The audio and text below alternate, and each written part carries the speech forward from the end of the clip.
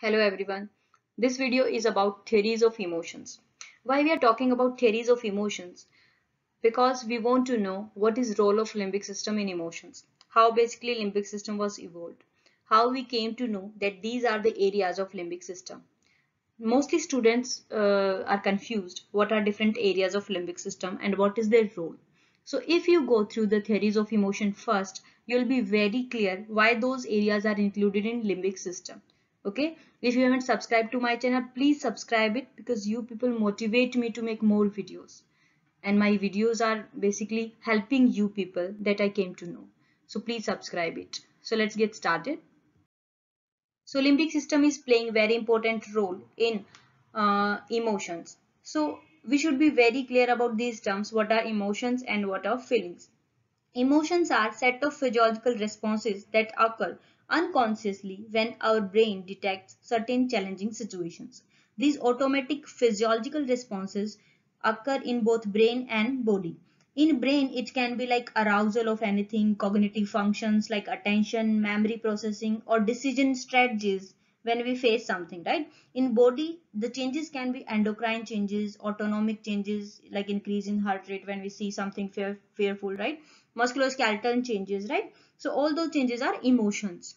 But when we talk about feeling, on the other hand, feelings are the conscious perception of all those changes, those physiological events. So emotions are unconscious expressions where feelings are conscious experiences, right? Now, time by time, which areas are basically part of limbic system, those boundaries of limbic system have been repeatedly redefined because of advances in neuroscience We'll go through the journey of emotion subsequently, how these areas are involved, which basically include nothing but theories of emotions. So we'll be talking about all the theories and who gave them and how the idea came in their mind. First of all, in 1890, William James, who was founder of American psychology, by giving example of seeing a bear, proposed that the conscious feeling of fear is a consequence of emotions that occur during act of running away. So normally we were thinking that we saw a bear and then we frightened and then we run away. On the other hand, James Lange for first time he gave a concept that we are afraid because we run, not because we saw a bear. He gave peripheral feedback theory in which he said that emotional competent stimulus processed in sensory cortex so whenever emotional stimulus comes, it go to sensory cortex. That information transmitted to motor cortex which produces emotional response which are perceived at sensory cortex and we feel feeling. So feeling came from that perception from sensory cortex.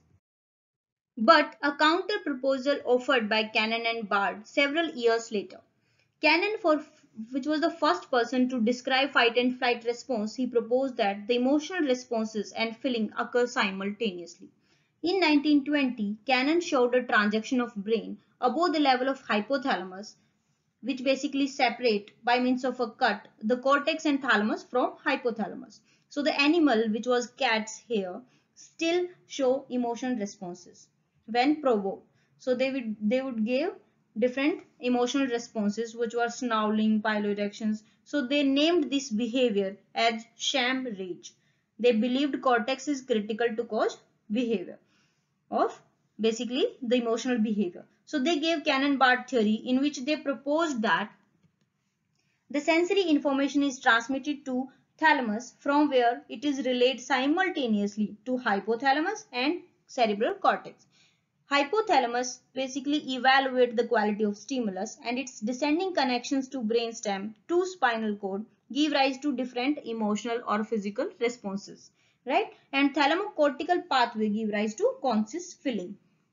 So, the emotional responses go simultaneously to both of the area. Cerebral cortex leads to feeling and hypothalamus leads to bodily responses.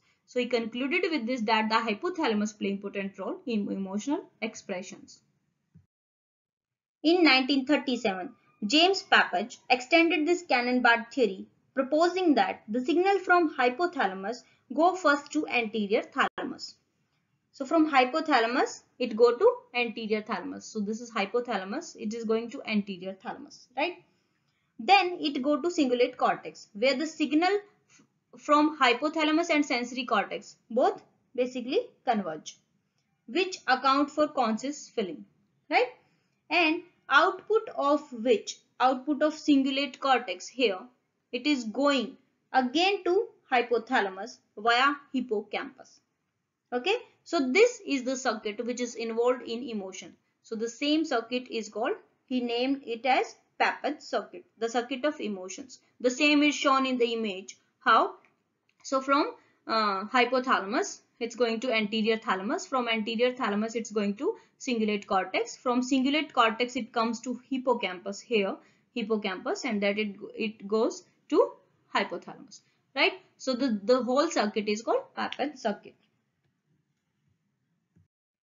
But a turn point came when during that time in late 1930s, Heinrich Klüver and Paul Bucy removed the temporal lobe of monkey bilaterally and found a variety of disturbances like alteration in feeding habits, like inedible things he took in mouth, sexual behavior, hypersexuality was observed and lack of concern for previously fearful objects. These remarkable changes are known as Klüver-Bucy syndrome. So they concluded that some areas in temporal lobe must be responsible for these kind of behavior. In 1950s, Lawrence Weiskrantz wanted to understand which region of temporal lobe was responsible for emotional changes in Klüver-Bucy syndrome as we discussed just now. That time, fear has been popular emotion in neuroscience. Research because it is so important for survival. They found it the best and convenient way to study emotion by fear conditioning. Now Lawrence used avoidance conditioning. First phase of avoidance conditioning is Pavlov classical conditioning and then the animal or whatever it is learn to perform responses that successfully avoid that aversive uh, response, aversive stimulus. Basically painful stimulus. So that uh, when painful stimulus is being avoided, it's called avoidance conditioning. Now let's see what is this first phase Pavlov classical conditioning. So in Pavlov classical conditioning, an association is learned between unconditioned stimulus which is current or shock here and conditioned stimulus which is tone or any voice okay? Which is neutral stimulus. So for conditioned stimulus it was a neutral stimulus no response. On unconditioned stimulus which was a shock there was a response. So association was made between two. How? Let us see that. So first of all, conditioned stimulus, which is a tone, is presented for 10 seconds to a rat and then animal is shocked or we can say shock is given last 0.5 second during the final second of conditioned stimulus presentation. So after several pairing of both the stimulus, conditioned and unconditioned stimulus that is tone and shock simultaneously, the presentation of conditioned stimulus which is tone here alone so when we present only tone alone, the rat was showing defensive freezing behavior and associated all the endocrine and autonomic changes have been observed. Okay. So when here we can see in the image both the stimulus are presented. So for 10 second condition stimulus was presented which is tone and then shock for last 0.5 second. When pairing was done for several time only tone presentation gives the same response. So he was responsive, he was showing defensive behavior only for tone. So the rat was having associative learning for both the stimulus. So after many experiments of various areas in temporal lobe, he concluded that the animal with amygdala damage fails to learn the association between conditioned stimulus and unconditioned stimulus. So when there is no amygdala, there was no fear response. The rat was not expressing any fear when conditioned stimulus is presenting alone.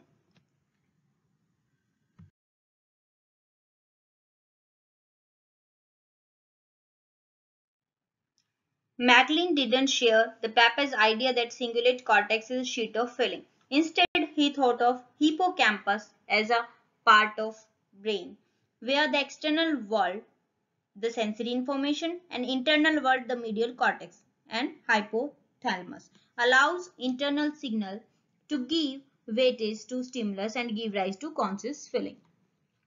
Subsequent findings raised problem for this theory when in 1957 it was found that the damage to hippocampus produce deficit in memory consolidation are able to express emotion but damage to amygdala lead to disturbances emotion expressions and association. So they concluded that it's not hippocampus but amygdala which is playing central role in emotional expressions